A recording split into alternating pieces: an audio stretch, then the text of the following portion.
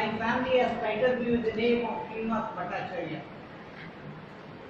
I am a reverted brother from a Brahmin priesthood family.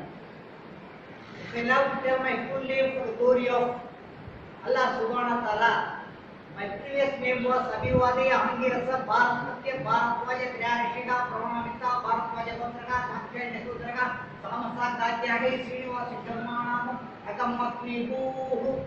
This was my full name. Which means to say I come from the 145th direct descendant of the Sri Vaishnava Bhattacharya priesthood community.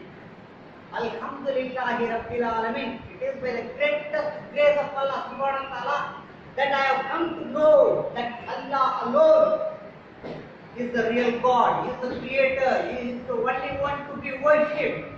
He alone can give us the place in Jannah. Alhamdulillahi Rabbil Alamin. How did I come to know about this wonderful Allah and how did I come to know about Islam? How did I come to know about Rasul Sallallahu Alaihi Wasallam? Basically, I did my BA, then MA, then MPhil, then I did my doctorate PhD in Hindu philosophy, in Sanskrit as well as in Kanta language. While doing my doctorate in UP, in Banaras Indian University, in Rig Veda chapter 3 verse 20 says that Adityavarnam tamatattu ಸರ್ವಾಣಿ ರೂಪಾಣಿ ವಿದಯಂತರೀರಗ ನಾಮಾನಿ ಯುಕ್ವಾ ತಿರಿಹೆಂಗೆಲಾಟ್ಯೇ This is a Sanskrit shloka mantra which comes in the book of Rigveda chapter 3 verse 20. But what is the deep down meaning that it claims about?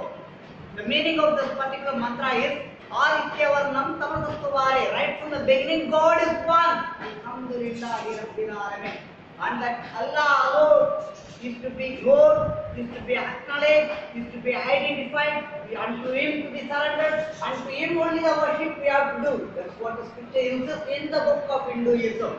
In Hinduism, so much insists. Islam much more keeps insisting. But do we do that? As a Muslim, we are bound to abide in the word of Allah subhanahu wa ta'ala. But when we break the word of Allah, the word of Allah breaks us. That is my practical experience in my life.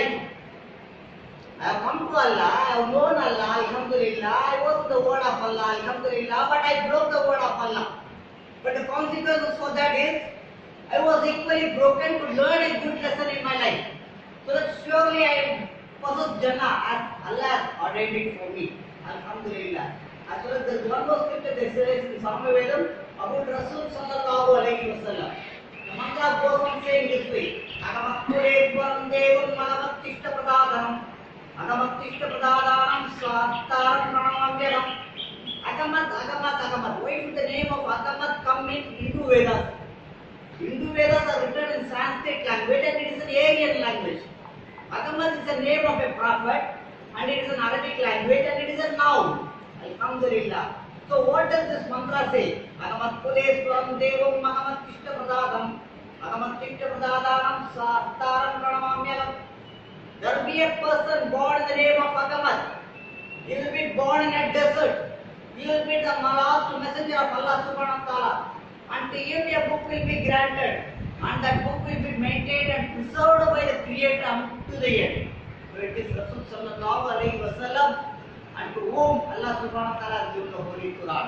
Alhamdulillah, today I have this wonderful Quran which helps us as a physician, you people, Alhamdulillah, you can take the shifa that Allah gives you so many patients across India or oh, even abroad, inshallah.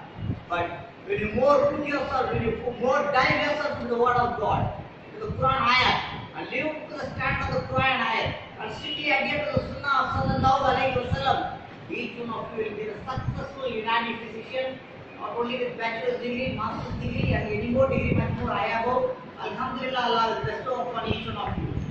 You all success in both the world, in life here as well as in the life hereafter.